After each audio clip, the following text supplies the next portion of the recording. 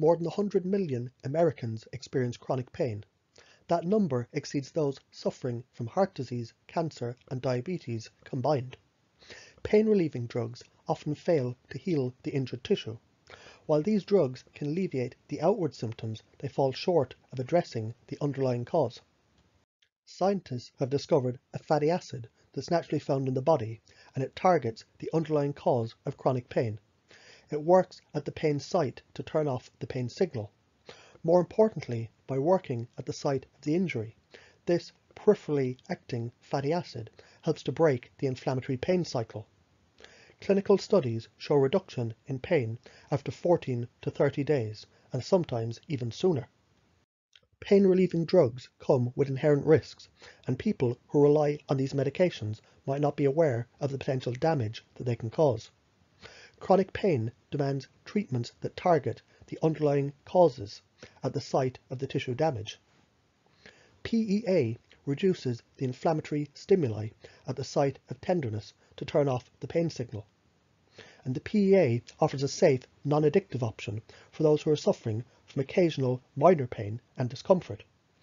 In addition, it's been shown to reduce the reliance on other pain medication. This may radically alter how pain is managed in the future.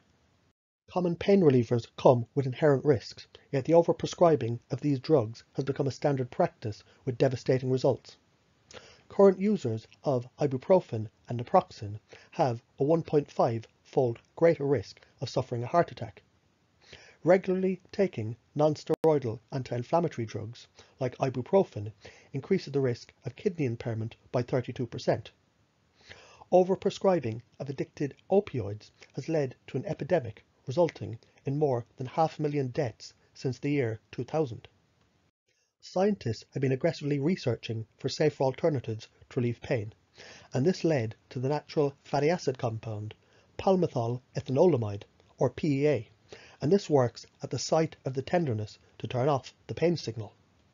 In clinical studies of PEA, noticeable reductions in pain were seen after 14 to 30 days of supplementation, and sometimes in as little as one week. PEA has an extraordinary safety profile.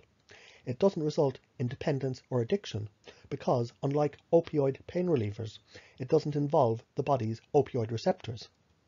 PEA is a fatty acid the body naturally produces to lower inflammation. In recent published animal studies, researchers have demonstrated that the PEA downregulates distinct inflammatory and oxidative pathways and significantly relieves chronic inflammatory and neuropathic pain. Multiple clinical trials and other human studies involving more than 1,100 participants have established the validity of PEA as a powerful peripherally acting pain reliever. Peripherally acting compounds work on the site of the original injury, helping to normalize the body's response to the tissue damage. Unlike commonly used pain relieving drugs, PEA has no documented cardiovascular or renal risk.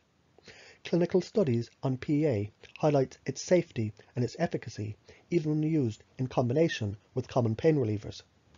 Investigators chose to test PEA against sciatica nerve pain, a condition that involves inflammation and pressure on the main nerve supplying the back portion of the leg. Sciatic pain is one of the most common forms of chronic pain, affecting up to 43% of people. For this study, 636 patients with sciatica pain were randomly assigned to receive either a placebo or 300 mg of PEA or 600 mg of PEA. After three weeks, both groups of the people who were taking the PEA experienced significantly better pain reduction and quality of life scores compared to the placebo recipients. Those who were taking the higher dose had the most improved outcome. The study also revealed that the PEA provides pain-reducing effectiveness that surpasses most pharmaceutical standards. Researchers frequently estimate how many patients would need to be treated in order to achieve a 50% reduction in pain. This number is known as the number needed to treat. Any number below 5 indicates a useful pain intervention, with a measure of 1 being the statistically perfect ideal. In the study of PEA, the number needed to treat was just under 3 by the second week of the treatment, and by week 3 the number needed to treat was down to 1.5. This indicates that PEA has a remarkably high degree of effectiveness in pain reduction. Migraine headaches are the sixth highest cause of years lost to disability worldwide. There's two main types, migraines with an aura and migraines without an aura. Auras are constellations of neurological symptoms that usually occur before the onset of a migraine, though they can also occur during a migraine. Auras can also occur without any migraine headache, and individuals who have migraines with an aura also have migraines in which no auras occur.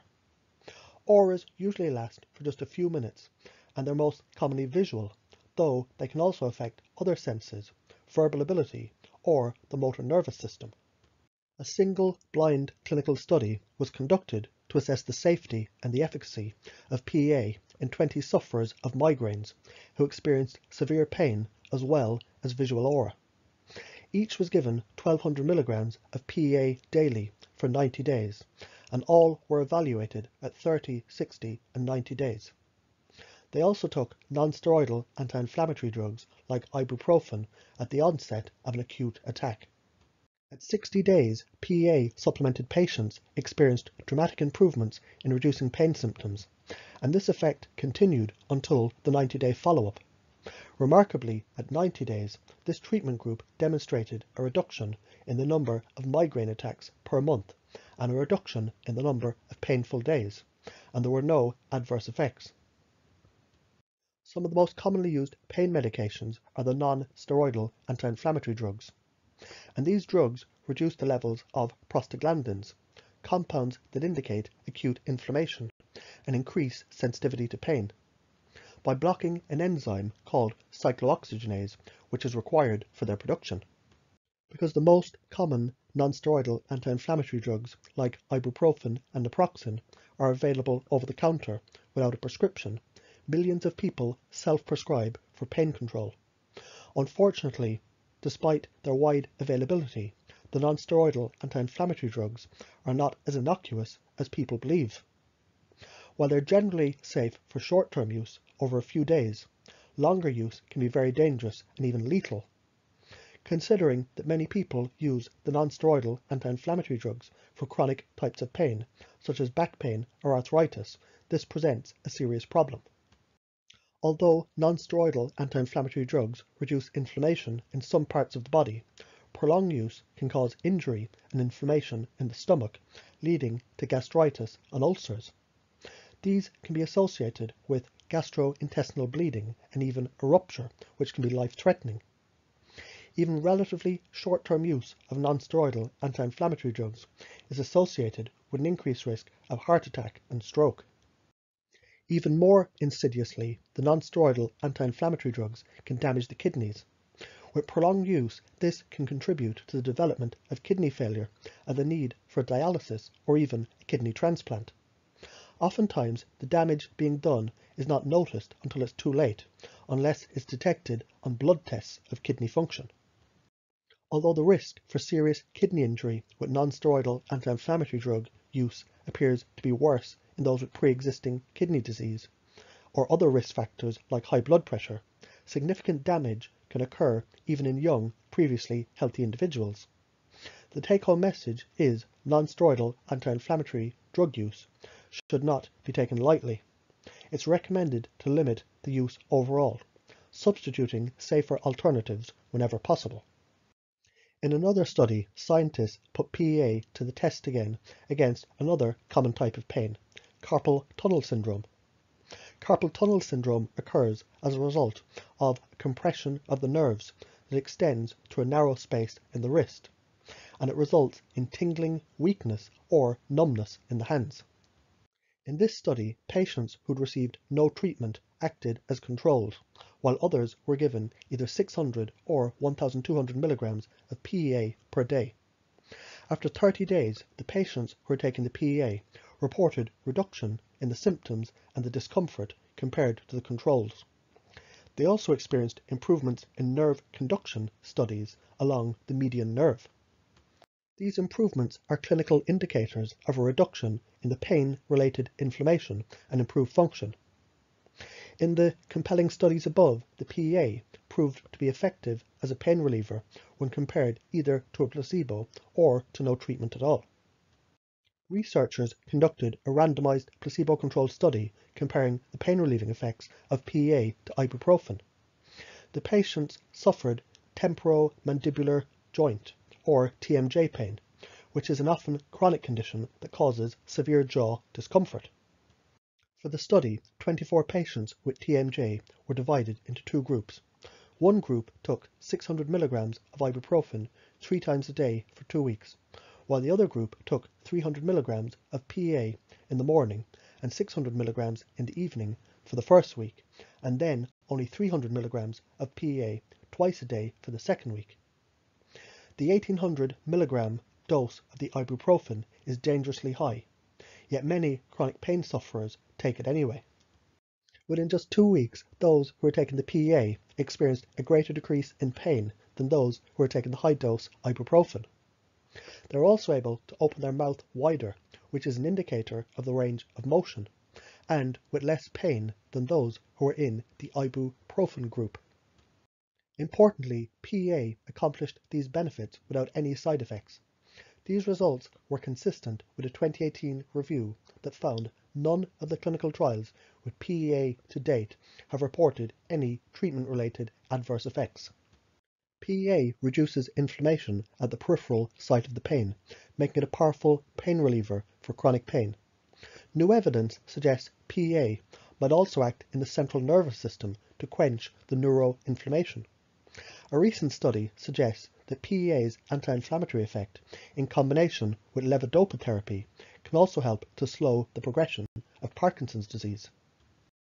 30 patients with advanced Parkinson's who were being treated with the drug levodopa were given a battery of cognitive tests before and after treatment with PEA. They received 1200 milligrams of PEA daily for three months, followed by 600 milligrams per day for up to a year the investigators documented a significant and progressive reduction in both motor and non-motor symptoms. Astoundingly, after a year of PEA supplementation, the number of patients who exhibited any symptoms had been reduced, a previously unheard of reversal in this chronic disease progression. Larger randomized and controlled clinical trials might yet reveal new potentials for PEA to reduce neuroinflammation and to improve the ability to protect against neurodegenerative diseases. Chronic pain often involves both peripheral inflammation as well as amplification of the perception of the pain within the brain. Long-term treatment with pain-relieving drugs involves a high risk of adverse effects, and it fails to target the underlying cause of chronic pain. PEA functions to suppress the painful inflammatory stimuli that persist at the site of injury. For more on herbs, supplements, and natural treatment plans, check out my website.